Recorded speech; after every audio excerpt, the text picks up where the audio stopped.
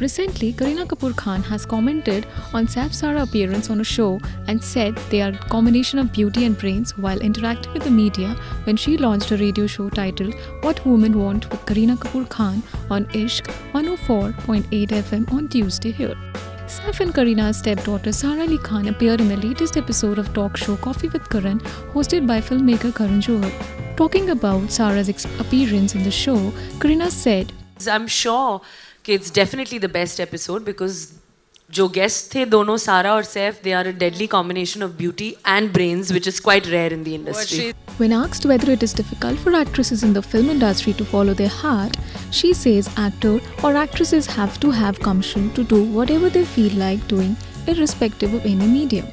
I'm sure it's everywhere, but I think uh, talking about the film industry today, I think we are giving a lot of chances today. I think we have a lot of opportunities, a lot of good characters. We have path-breaking actors, be it Radhika Apte, be it the girl in Sacred Games, Kubbra. I mean, today we're getting these kind of girls who are fighting it back and doing these kind of roles, which is brilliant.